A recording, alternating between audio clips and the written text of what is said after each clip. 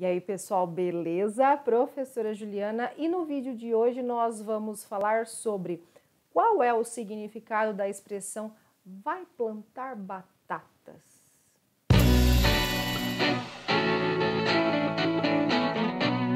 Então eu trouxe aqui o significado dessa expressão, porque nós temos a batata, que é algo relacionado aí à biologia, só que essa expressão não está tão relacionada assim com a batata em si, com a biologia.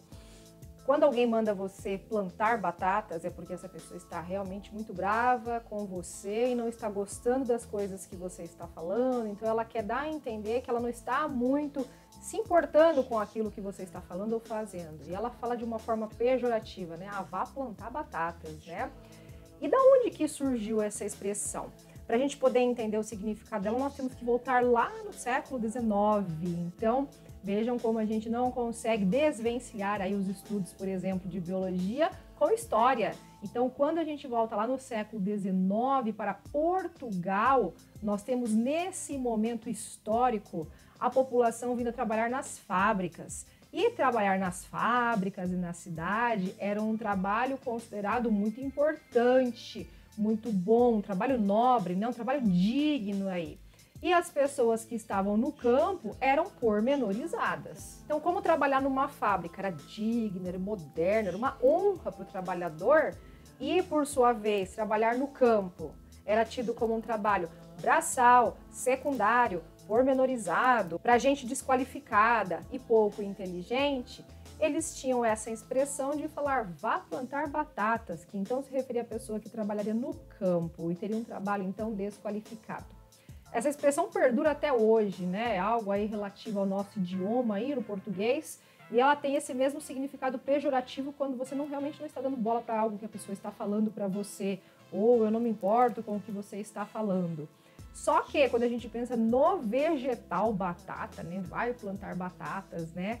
As batatas são alimentos extremamente importantes para os seres humanos. Vamos pensar aqui, poderíamos falar natureza também, mas para os seres humanos é um vegetal extremamente nutritivo. As batatas, então, que são aí esses vegetais que fazem parte da família das solanáceas, como você pode ver na figurinha, né? Nós temos vários tipos de batata, a batata inglesa, a batatinha, temos vários nomes comuns que são dados aí para essas plantas, né? Para essas solanáceas que a gente chama. Quando a gente come então uma batata, um tubérculo, né, como uma batata é chamada, nós estamos então nos alimentando do caule da planta. Então a batatinha é considerada o caule, que é um dos órgãos do vegetal, assim como raiz, folha, né? Então a batatinha é considerada um caule. A cebola, por sua vez, também é considerada um caule, mas de outro tipo, né? Outra denominação, que é diferente, por exemplo, da cenoura, da beterraba, que também são né, regiões que estão embaixo da terra ali, mas não representam caules, e sim parte da raiz da planta. E pensando na parte nutricional, a batata é um alimento muito importante para ser incluído no nosso cardápio. A batata, então, tanto a batata doce quanto a batatinha inglesa, nessas variedades que a gente tem, são riquíssimas em carboidratos, em bons carboidratos e pobres em gorduras. Nós temos também vários micronutrientes que compõem aí a batata, como por exemplo o ferro, o potássio, o fósforo, o magnésio.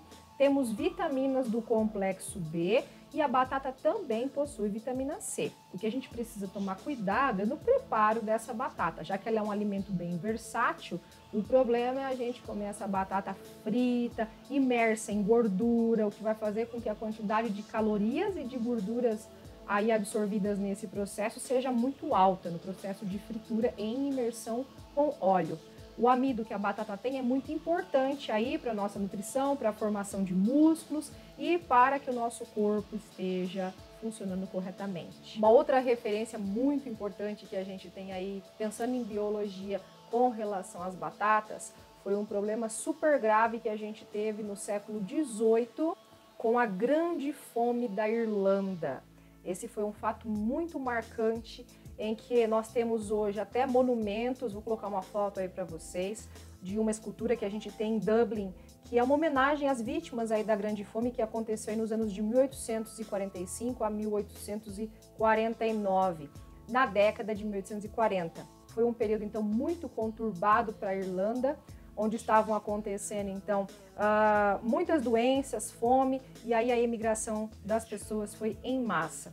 Uma das causas que a gente tem aí então desse problema aí da fome foi provocada por um organismo chamado Phytophthora infestans, que é um homiceto, é um parente dos fungos, que acabou atacando as lavouras de batata e causando muitas doenças e grandes prejuízos para esse vegetal. E por causa disso, então, a população acabou passando fome. Apesar da Europa inteira ter sido atingida, um terço da população da Irlanda dependia exclusivamente de batatas para sobreviver.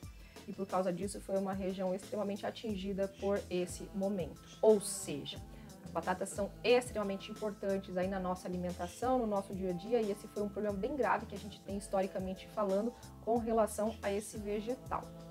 Eu espero que você tenha gostado desse vídeo, dessa informação que você possa curtir, comentar, compartilhar com algum colega seu que não conhecia a origem dessa expressão, porque você já sabe, biologia é para sua vida. Música